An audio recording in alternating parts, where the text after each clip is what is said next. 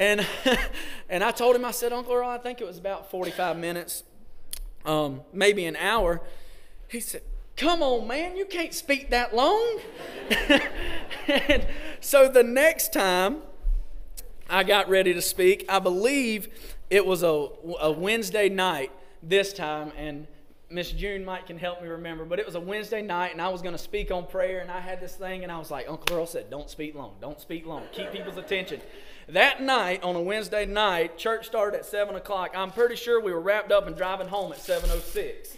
Um, I think I think I spoke for maybe five minutes max, and um, I remember I called Uncle Earl. I said, I kept it short. I kept it short. And I told him how long I spoke. And he's like, come on, man, again. And I was like, ah, but he told me again how proud he was of me and, and that, um, that I did a good job. And like I said, as Uncle Earl always told me, keep it short and sweet.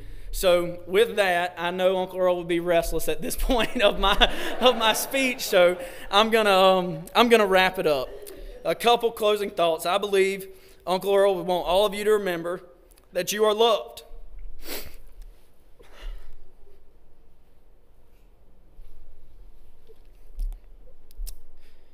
No matter what you've done in life, the love and blood of Christ is sufficient. And I believe that Uncle Earl lived his life to show and share that message with as many people as possible.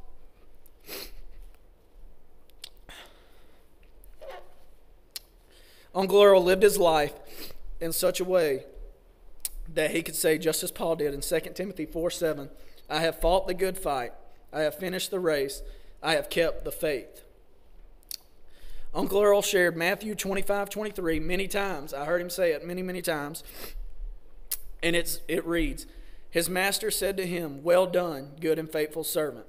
You were faithful over a few things. I will put you in charge of many things. Share your master's joy. Uncle Earl is sharing the joy in the presence of Jesus. Uncle Earl did not die on Wednesday morning. He just finally got promoted to live. Thank you.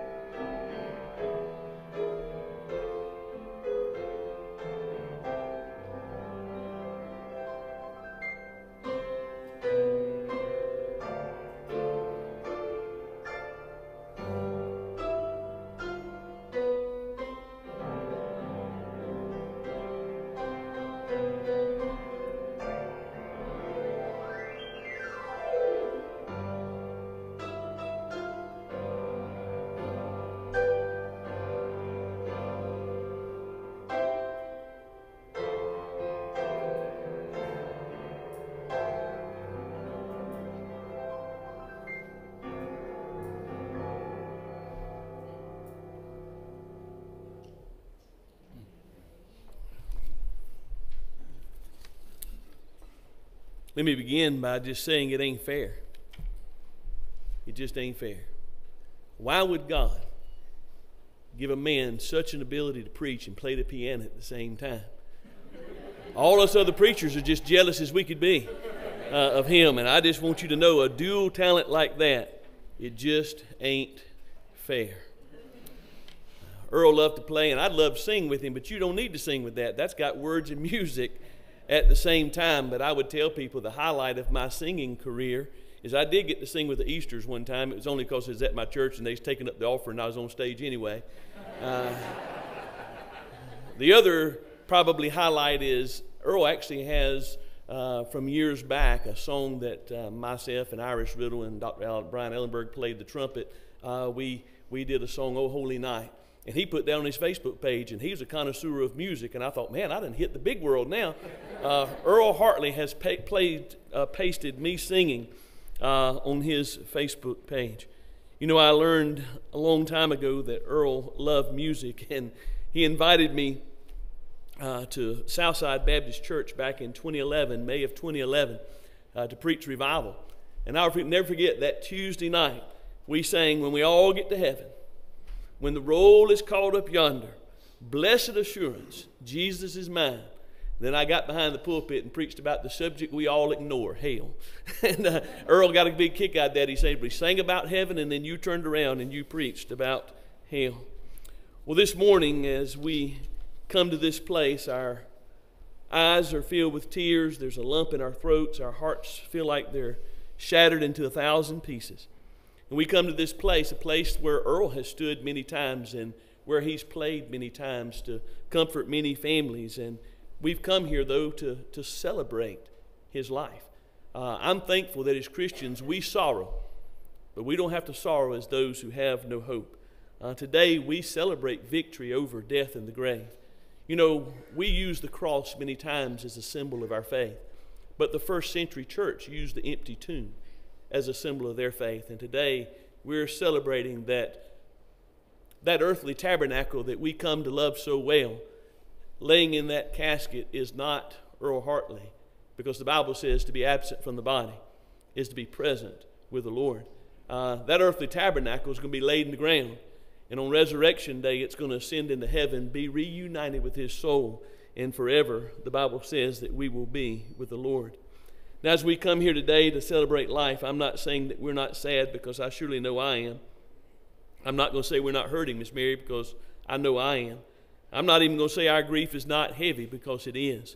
But despite our sadness and despite our grief and despite our pain, we celebrate victory that Jesus has made possible over death and the grave. And Miss Mary, God waited until you were 30 to send you a husband.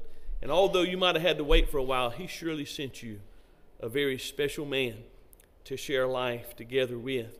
And I know that with such a great love comes a great pain at separation. Uh, for Earl's family, I would want you to know that I know that you are all important to Earl.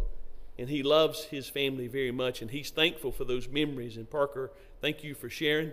I think Earl would have been very proud now, we're very thankful for that story you told us about the window, but he might have told you to leave that one out. Uh, but, uh, but we're very thankful that, that you included that today. For many of the friends that are here today, and I see folks from churches all around, uh, for friends today, Earl is no longer preaching and praying and playing the piano. He's no longer leading and serving. But I believe that he is, according to Hebrews chapter 12, a part of that great cloud of witnesses that's cheering us on as we pick up the mantle and we continue to serve. And I hope that we'll do it the way that Earl did it.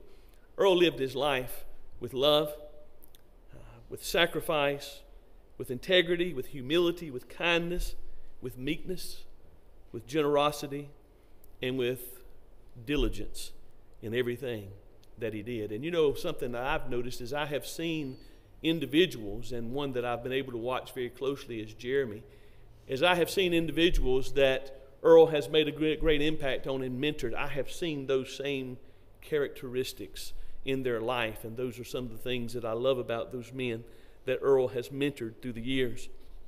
Earl was faithful to God first and foremost, and I believe because he was faithful to God that that's why he could be faithful to Miss Mary, faithful to his family, faithful to his friends and to so many others. I would just like to tell those of us who are here as friends today that I'm thankful that you've come. I'm sure that, like me, your world has kind of felt shattered and rocked the last couple of days, and we've kind of wondered what can we do, and many of us have rushed to Miss Mary's side. But you know, there's a tendency for us to go back to business as usual. There's a tendency for us this afternoon just to kind of fall back into our groove. Uh, but for this family, but particularly for Miss Mary, her life's going to be different from this point forward. And I would say this you love her and Mr. Earl enough to be here today. So call her tomorrow. Call her next week. Call her in two weeks, in a month, in six months. Because grief is not an event, grief is a journey. And it's a journey that she's going to walk the rest of her life. And I have pledged to her that I'm here for her and I'm going to check on her. But, but, but let's all make sure, as Earl cared for so many people through the years, let's now be faithful to Miss Mary, and I believe that's one way that we can honor his life.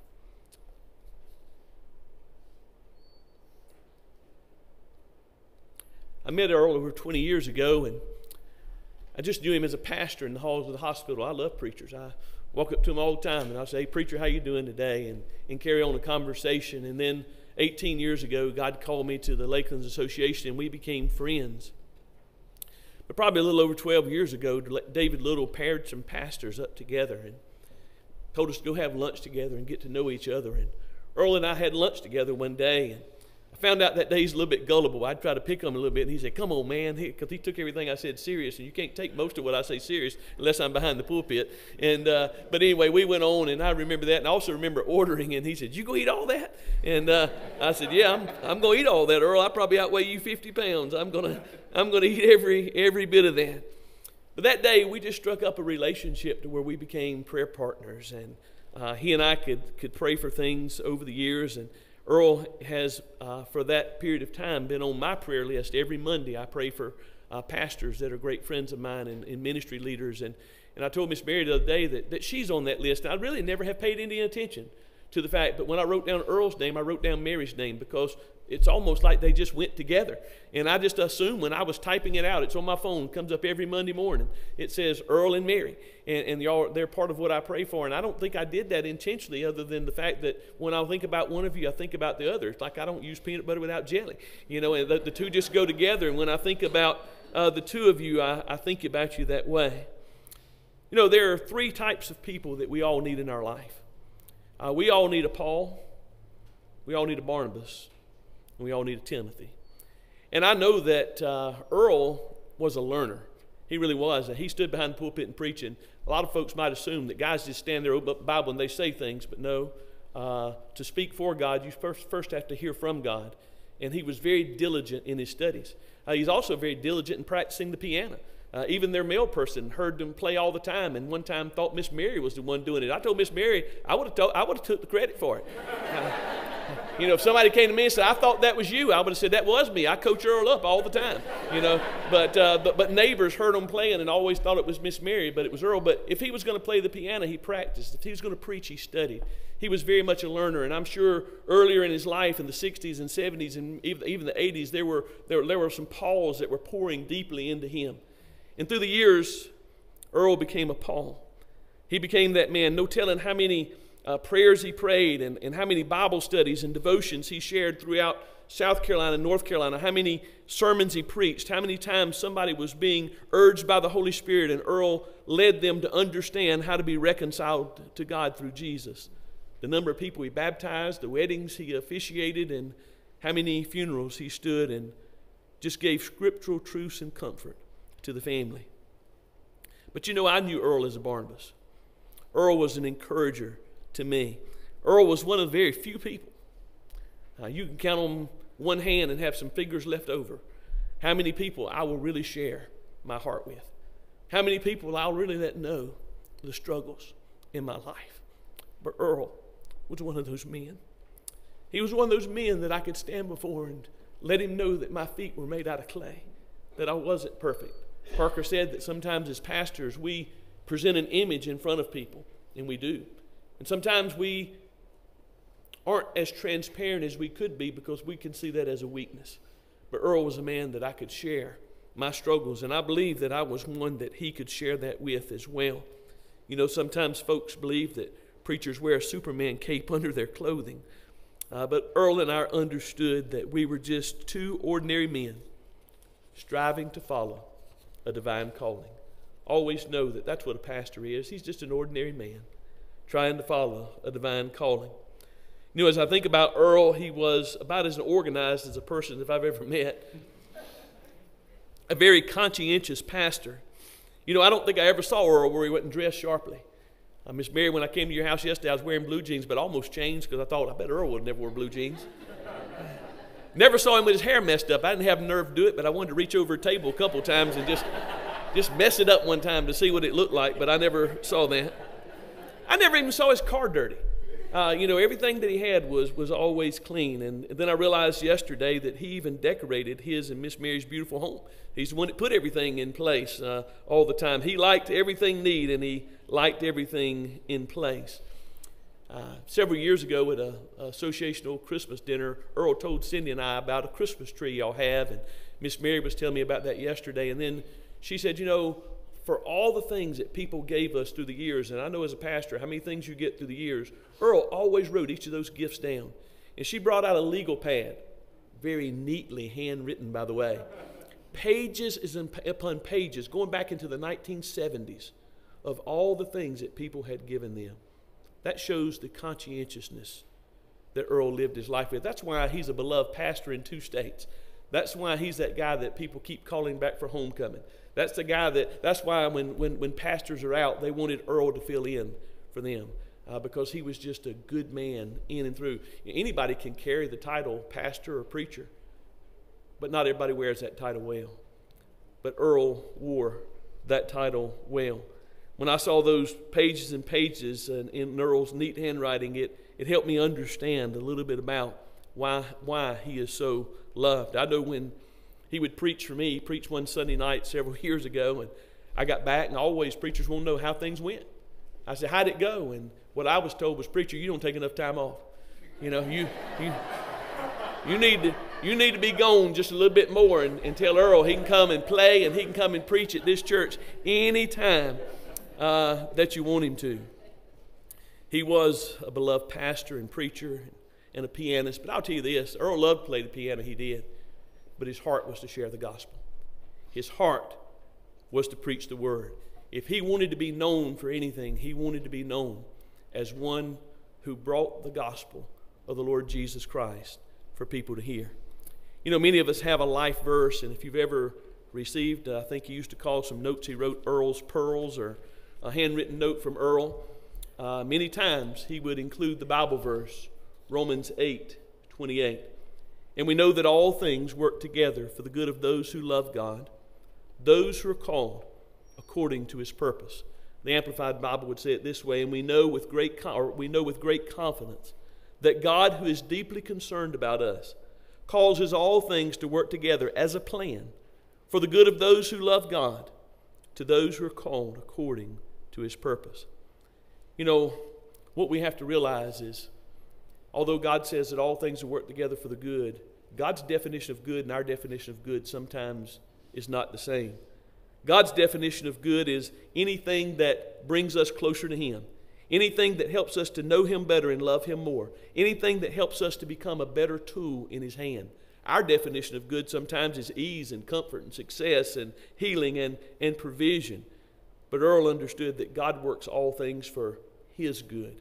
And you know, today I, I think that Earl would he would know and he would want us to know that, that even death is good.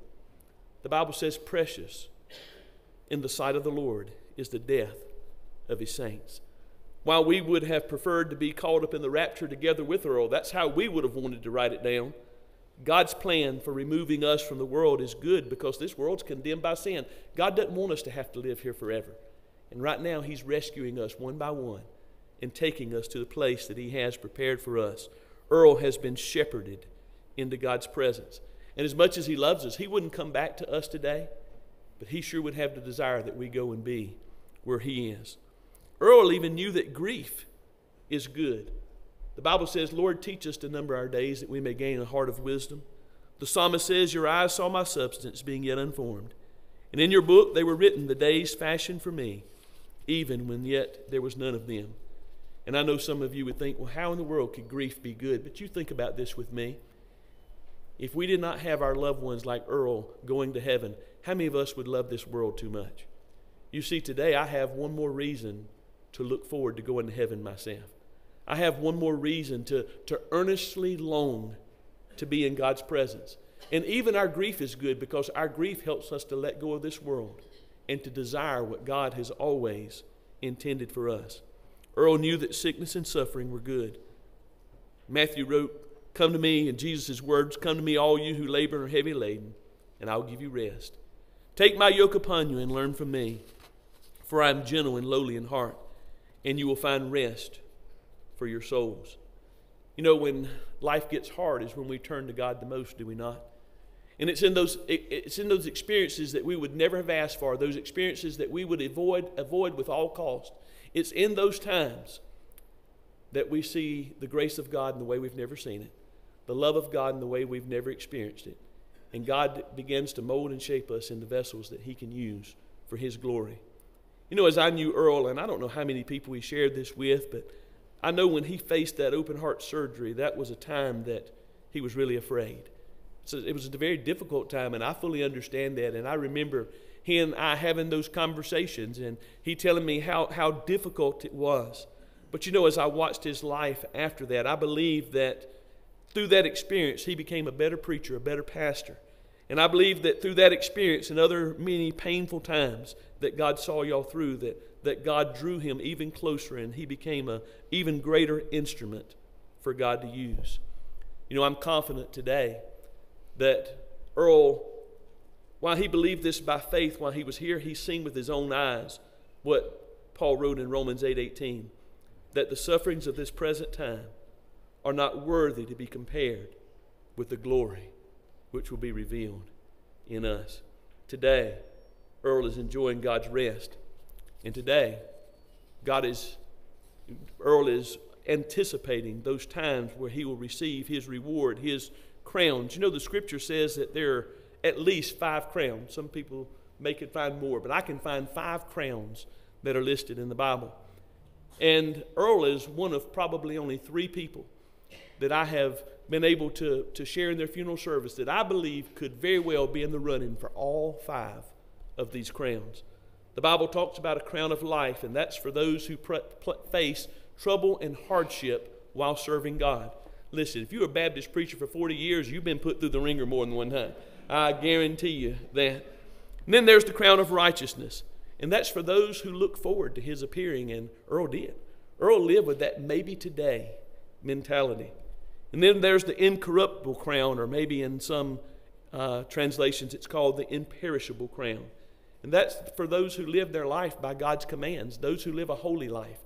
And I mean, Earl was not perfect. He's like all of us, sinner in need of a Savior. You know, we never get to the place that we're sinless, but as we mature, we should sin less. And I think that's where Earl was. He had learned to, with God's help, sin less uh, in life. And so uh, I believe that incorruptible or imperishable crown. And then the, the crown of rejoicing, and that's the soul winner's crown.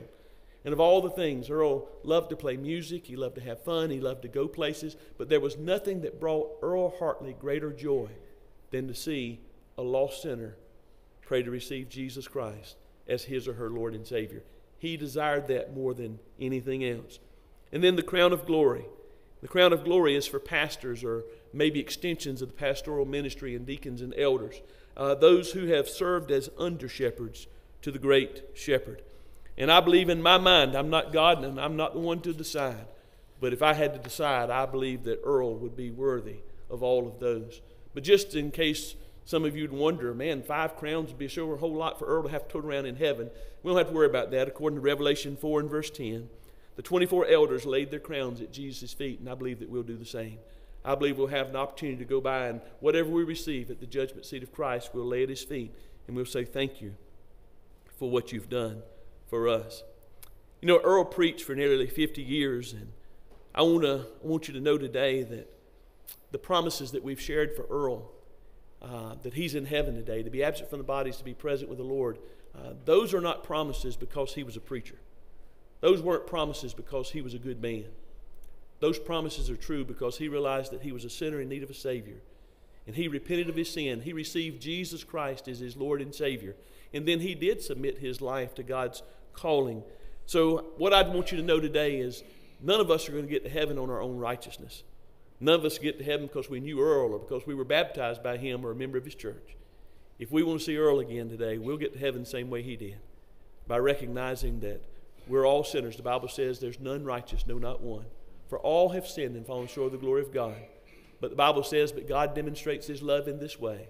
While we were yet sinners, Christ died for us. I'll promise you this there's nothing in your life or my life that Jesus hadn't already died for and you can't be forgiven of.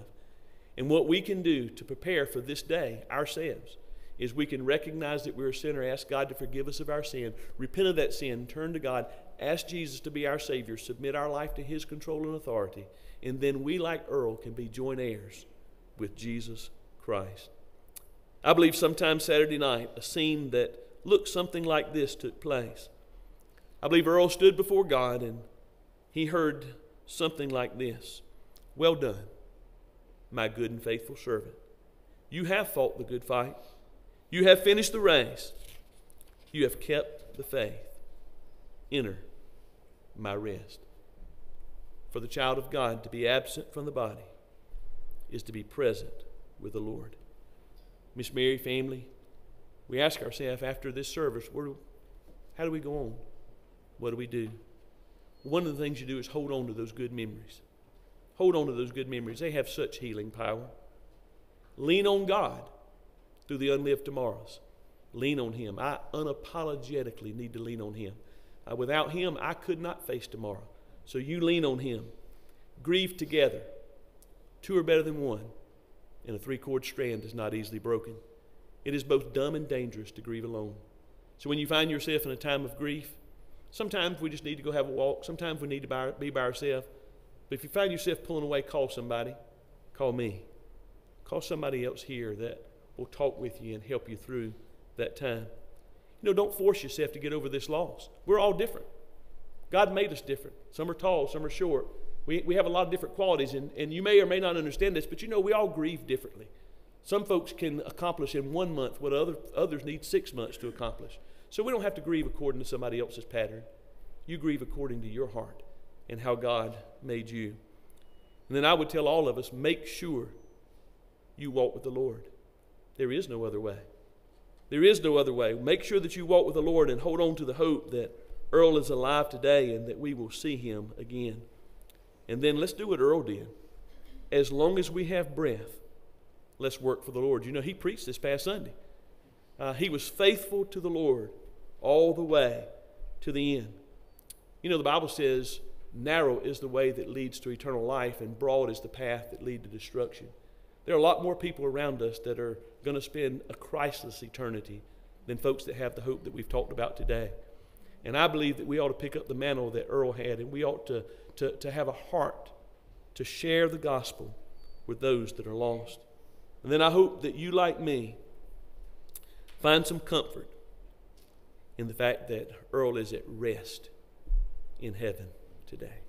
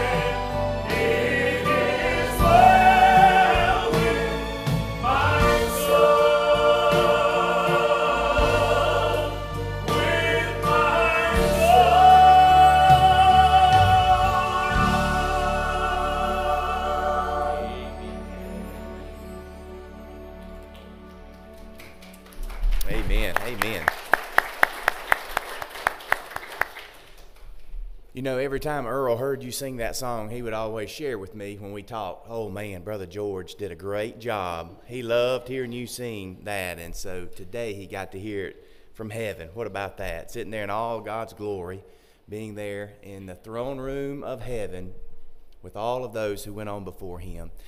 I just want to say what a privilege it is just to be able to have uh, just a few minutes here with the closing prayer. But uh, as many, I am like many of you and, and agree with everything that's already been said. Brother Earl was just a treasure to be uh, in your life. He was such a tremendous friend and encourager. And um, we are so blessed uh, because of the friendships that we have. There was a passage of scripture that I had thought about that I wanted to share in Revelation chapter 14 the Bible says, Then I heard a voice from heaven saying to me, Write, blessed are the dead who die in the Lord from now on. Yes, says the Spirit, that they may rest from their labors and their works follow them. And I want to just say today, even in this moment, we have been so blessed by Earl and the gift and the many works that the Lord had given him to be able to play his own funeral uh, what a tremendous gift that is, and what a tremendous talent he has, and what a blessing he is still in our lives. And uh, we are just so thankful uh, to be able to uh, experience uh, his wonderful talents and his gifts. And uh, Miss Mary, we're continually praying for you. And I know that um, many times when I would talk with Earl, and over the course of 20 years, we had a tremendous mentorship and uh, I often think of myself as young Timothy sitting under Paul, you know, as uh, we had that kind of relationship. Many things he would uh, caution me against, and many things I would run by him. And uh, he would say, You may want to rethink that, Jeremy. And I was thinking, uh, I would send him different things too about how to word stuff, and he would encourage me. And, and uh, sometimes he wouldn't even just mark mine, he'd just throw it on out the window and say, You need to start over, brother. This is terrible. So, we had a tremendous blessing. But uh, Earl was there when I was ordained and ordained my brother and my father into the deacon ministry. It's just a tremendous treasure that he has been to, to my life. And uh, what a tremendous blessing it is to know that uh, all the many labors he did for the Lord, he is now finding rest, rest for his soul. And I know that is his prayer for all of us. So at this time, let's have our closing prayer. Father, we are grateful today for the gift that you've given us in the life of Earl Hartley. We are grateful today for his love, for his encouragement, for his example, for his faithfulness to you. And we are most thankful today that he, at some point in his life, realized that he needed Jesus and that this day is much different because we know that we do not have to live as those who have no hope, but because of Jesus Christ, we can live in hopes of the resurrection. We can live because we know Brother Earl and his life and his legacy, his faith, the many times he proclaimed the good news of the gospel, and the many times he testified to me and countless others of his faith and trust in the Lord. Many times he would mention to me, Jeremy, I just want to glorify the Lord. And Lord, we know that we can truly, truly celebrate all the wonderful ways that you allowed him to minister to countless amounts of people because of that one desire to just glorify the Lord. Father, I'm thankful today that he is indeed finding that rest from all of his labors. And I'm thankful that even today, on a day like today, we can still testify to the scripture that his works will follow him. And what a blessing he's been to us today, even through his music and Father, I pray over Miss Mary. I pray for the family. I pray that you would strengthen them and comfort them in the days and weeks and months to come. Would you wrap your arms of love around them? And Father, the word says in Psalm 46, verse 1, that you are our refuge and strength.